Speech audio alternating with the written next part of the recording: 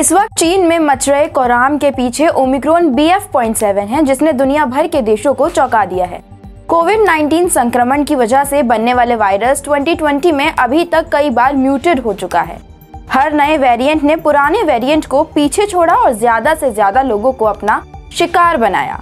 नमस्कार, मैं शुभी महेश्वरी और आप देख रहे हैं स्पाइस न्यूज़ भारत। चीन में कोरोना के नए मामलों के पीछे Omicron B F point seven है और यह ओमिक्रोन का बी ए पॉइंट फाइव का सब वेरियंट है।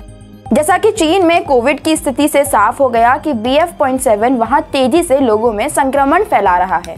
आशंका जताई जा रही है कि वहाँ इस वेरिएंट से लाखों लोग मारे जा सकते हैं और यह तकरीबन वहाँ की 60 करोड़ आबादी को प्रभावित कर सकता है। रिपोर्ट्स के अनुसार Omicron B F point seven लोगों को जल्दी शिकार बनाने की ताकत रखता है।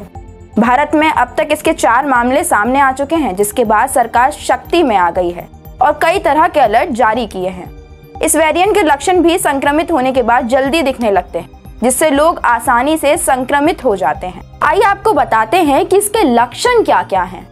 लक्षण और इन्फेक्शन की बात करें तो इससे संक्रमित होने पर बुखार, खांसी गले में खराश, नाक बहना, कमज़ोरी, थकावट और कुछ केस में उल्टी और दस्त, जैसे पेट से जुड़ी बीमारियों का भी अनुभव हुआ है।